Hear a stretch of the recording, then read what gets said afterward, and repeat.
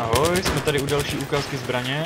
Tentokrát si ukazujeme UMP45, což asi bych tak typoval, že je pro mě jako nejpoužívanější zbraň u, jako na Close Quarters.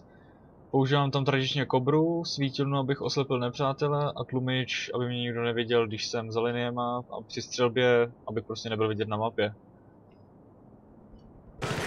Tahle zbraň bych řekl, že patří mezi ty přesnější. Strašně dobře si mi v ní hraje právě v Close Quarters. Tak řekl bych, že UMP není zrovna jako na, del na delší vzdálenost, pak ho používám jenom jako na blízké vzdálenosti, takže jak jsem předtím říkal, hlavně close quarters. Co hned tady jde vidět jako na blízkou vzdálenost je to s UMPčkem jako devastující. Když zrovna to nějak vychytáte nepřátelé dobře, tak UMPčkem můžete natrpět hodně velkou škodu.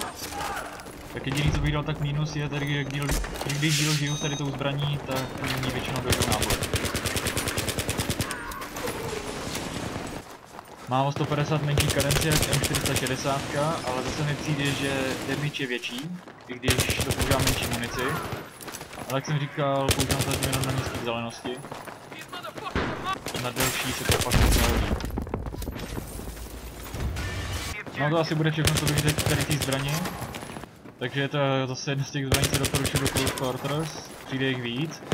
Vyzkouším ještě nový zbraně a uvidím, jaká z nich bude nejlepší.